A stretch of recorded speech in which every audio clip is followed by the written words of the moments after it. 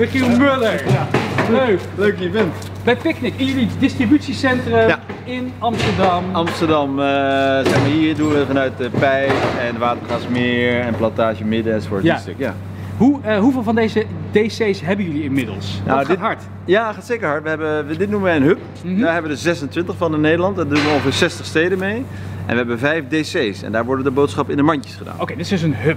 Hub, ja, van hieruit rijden die elektrische autootjes zeg maar de wijken in om ook die boodschappen te bezorgen. En inmiddels niet alleen maar in Nederland, ook in Duitsland. Duitsland zitten we nu net in, eh, een beetje ten westen van Düsseldorf en in München-Gladbach zijn we een paar weken geleden begonnen. Grote ambities. Grote ambities, zeker. Hoe hard gaat het? Hoeveel, eh, hoe, eh, kan je ons een beetje enlighten met een paar cijfertjes over Picnic? Hoeveel eh, de, de groei? Nou, de groei gaat zo hard dat we dus inderdaad, eh, toen we drie jaar geleden begonnen zijn in Amersfoort, hadden we natuurlijk één stad. Ja. Nu 60. We hadden toen één autootje, nu 700. We hadden toen eh, nul omzet en nu eindigen we dit jaar ongeveer op 200 miljoen. Twee landen, dus het gaat echt hard. Wat is nou de grootste bottleneck in die groei van jullie? Waar, waar, waar, waar moet je tegenaan boksen? Is dat een beetje talent? Is dat locaties? Ja, het is altijd wel iets anders. Hè. Zeker in het begin moesten we eerst weer meer autootjes maken. Toen moesten we meer distributiecapaciteit verzinnen. Toen moesten we weer een warehouse bouwen. Dus het is elke keer iets anders. Nu is zo'n eh, thema natuurlijk ook mensen vinden. Hè. Dus je moet, eh, als je autootjes hebt, moet je natuurlijk ook runners hebben die erop werken. Mhm. In de warehouse moeten natuurlijk ook mensen hebben die helpen om die boodschap in te pakken. Dus het is altijd wel iets dat zeg maar, eh, bij die groei natuurlijk eh, een soort eh, kritiek pad is. Ja, ik zag het ook wel daarnet in het, in het kantoortje daar, de runners. Dat zijn de Ja. bezorgers. Waarom noem je die runners? ja, zo heet ze gewoon. Ja. Heb je gewoon een keer bedacht Ja, van... oké, nou inderdaad. Is uh, namens voor deze keer iemand gezegd, Is- ja, we zijn runners. Oké, nou mooi. Oké, dus niet Maar- dat, dat, dat, dat de hippe millennial zich meer aangesproken Nee, voelt tot nee, runner nee, dan tot bezorger. helaas zit er niks strategisch achter. Oké, Ja. dit zijn die autootjes. Ja. Eh, en het leuke is, vind ik altijd, dat, dat je, eh, eh, veel vrienden van me gebruiken jullie. En die maken altijd fotootjes als er weer zo'n autootje komt Ja.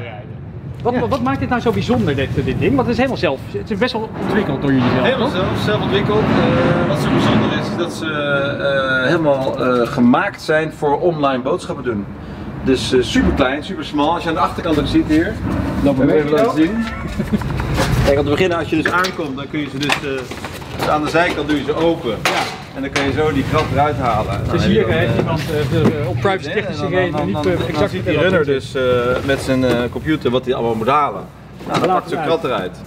En die kratten zijn ook, kijk deze is wat lichter. Ja. omdat hij wat hoger zit. En die allerhoogste zijn dan de allerlichtste, zodat je er ook makkelijk uit kunt houden. En hoeveel huizen kan je met één karretje bevoorraden ongeveer? Eh, ongeveer 15. Vijf. Ja. En hier aan de achterkant kun je goed zien. Dit gaat dus straks. Er moet nog een tweede, hè, die is nu aan het halen. En dan gaat het deurtje dicht. Kijk, huppatee. Deurtje dicht. En dan hoef je alleen maar, als je aankomt, alleen de zijkant open te maken. Dat betekent Ja. dat je dus niet omheen hoeft te lopen, niet open hoeft te doen. Maar vooral, heel belangrijk, valt jou natuurlijk meteen op. Je hebt geen gangpad van een meter breed nodig. Dus die auto's zijn heel smal en Ze staan, staan niet in de weg. overal-. Maar staan niet in de weg. Maar ze mogen niet op die 80 kilometer wegen. Nee, Dat is niet bij mij kunnen komen. Dat is dat, dat is even ja. Nou ja, precies. Ja, ja, ja. Dus eh, Ga maar maar, weer. Alle overheden die bezig zijn met eh, duurzaamheid en dat soort dingen, die moeten natuurlijk ook nadenken over eh, elektrisch vervoer. Drie jaar geleden, denk ik, Challenger van het jaar geworden. Ja.